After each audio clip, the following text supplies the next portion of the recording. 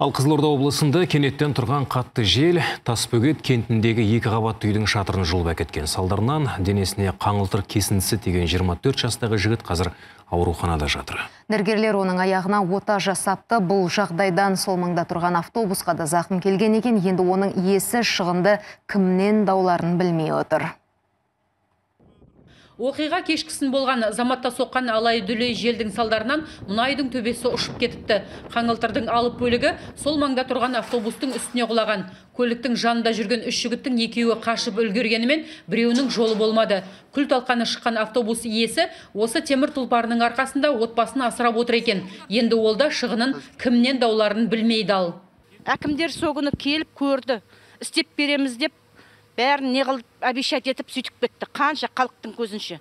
Онымен ертеңіне келіп істемейміз. Өзің істеп ал страховкаң жоқ деп сөйтіп айтып кетті. Страховкаңмен істе дейді. Мен страховкамен мен ол авария істеп тұрған жоқпын ғой. Страховкамен істейтіндей. Тұрсынгүлде осы үй тұрғындарының бірі. Ал оқиға орнына жеткен төтенше жағдай қызметкерлері сол маңды қоршап үйдің айналасын шатыр қалдықтарынан тазартты.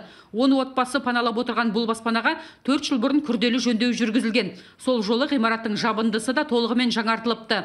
Енді төбесі тесілген тұрғындар жауын шашын болмаса екен деп күнде аспанға қарап дұға тілеп отыр. Алайда төтенше жағдай қызметі мамандарының болжамынша бүгін ертең ауа райының тынышталатын түрі жоқ.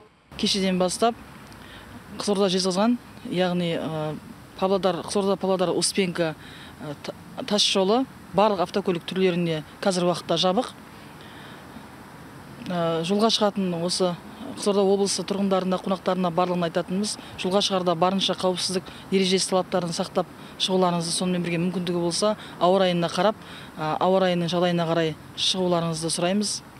Ал оқыс оқиғадан жапа шеккен жігіт қазір қалалық ауруханада жатыр. Дәрігерлер оның аяғына ота жасапты. Келіп тексеру барысында тізе тобығының жабық сынған сынығы анықталды. Одан науқасқа қазір жедел ота жасалып, қазіргі таңда жалпы жағдайы орта дәрежелі емін алуда тұрақты жалпы шенеуніктер шатырсыз қалған ғимаратты қайта жөндеп береміз деп уәде еткен екен. Алайда бюджетте жекешелендірілген ғимараттарға қаржы қарастырылмаған. Сондықтан олар құрылыс жұмыстарына деп қаланың қалталы азаматтарынан көмек сұрамақшы. Гүлмира тасболатқызы андрей масан ктк қызылорда.